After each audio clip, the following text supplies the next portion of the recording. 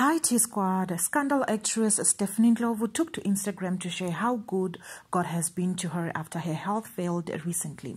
With all that's going on in the world right now, if there is a wrong time to be sick, it is this one. Because one might be sick with something else but risk contracting COVID 19 at the hospital and not getting adequate help because of the overburdened health system. But Stephanie had no choice since she had to have an emergency operation.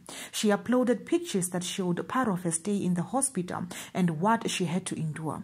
She captioned the pictures by saying, about four weeks ago, more than six visits during the whole pandemic of back and forth to ER, being admitted, discharged only to be rushed back a day later. Today was my final checkup and I am pleased to report that after an emergency op, I am healed. T-Squad, the actress refused to share what exactly was ailing her, but from the description and pictures, it seemed pretty serious. She continued by giving all glory to God for healing her and helping her through the process. I won't disclose reasons because they don't matter. What matters is that God is so good, so faithful. His mercies are new every day.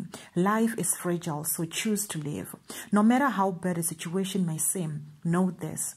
There is nothing new under the sun. Everything that is has already been, and the same God that was, still is, and will forever be, no matter what. I am a living testimony to this, she wrote. Stephanie ended the caption by motivating her followers to not give up and trust in God, no matter what they are going through. Trials come but for a season, and victory is always around the corner. Just keep pushing and never lose hope. Be blessed, she wrote. We are glad the actress is back in good health, and I hope her words will motivate you, T Squad, and give you strength whatever you are facing. That's it for now, T Squad. Do leave your comments down below. I love you.